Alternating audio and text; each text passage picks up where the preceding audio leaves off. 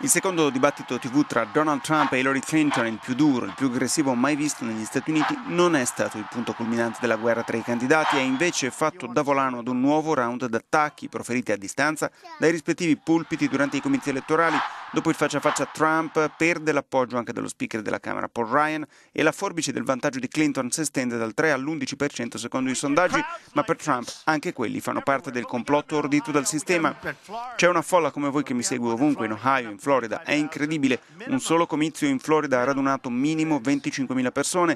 Non c'è modo che io sia sotto di tre punti nei sondaggi. È che persino i sondaggi sono truccati. Ve lo assicuro, è tutto il sistema ad essere truccato, ha detto dal palco in Pennsylvania.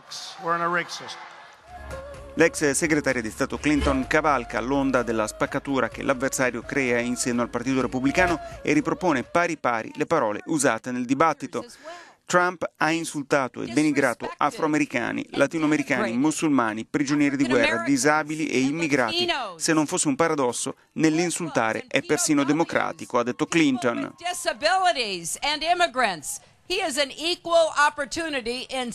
Intanto continua a gonfiarsi il dibattito innescato dal video che rischia di fare la disgrazia di Donald Trump, il dibattito su una cultura sessista che rende socialmente accettabile l'abuso e l'aggressione sessuale. E tra meno di un mese potrebbero essere le elettrici ad avere l'ultima parola.